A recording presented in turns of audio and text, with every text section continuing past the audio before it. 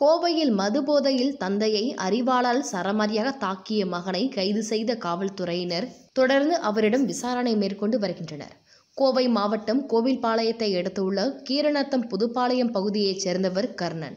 ஐம்பது வயதாகும் இவர் தனியார் ஐடி நிறுவனத்தில் தோட்ட பணியாளராக பணிபுரிந்து வருகிறார். இவரது மனைவி சந்திரா. இந்த தம்பதியின் மகன் குருநாதன். குருநாதனுக்கு திருமணமாகி சில மாதங்களிலேயே மனைவியை விட்டு பிரிந்து தாய் தந்தையுடன் வசித்து வருகிறார். மேலும் மகன் குருநாதன் எவ்வித வேலைக்கும் செல்லாமல் ஊர் சுற்றி வந்ததாகவும் கூறப்படுகிறது. இந்த நிலையில் தந்தை கர்ணனும் மகன் குருநாதனும் இருவரும் இணைந்து அப்பகுதியில் உள்ள டாஸ்மாக் கடைக்கு சென்று மது அருந்தி உள்ளனர். பின்னர் வீடு திரும்பினர். அப்போது கர்ணன் குருநாதனிடம் மனைவியுடன் சேர்ந்து வாழுமாறு அறிவுரை கூறினார்.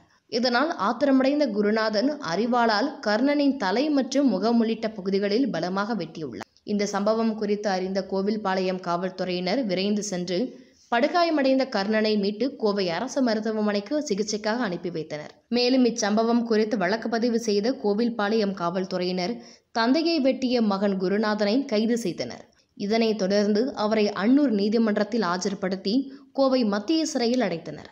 இச்சம்பவம் அப்பகுதியில் பெரும் அதிர்ச்சியை ஏற்படுத்தியுள்ளது.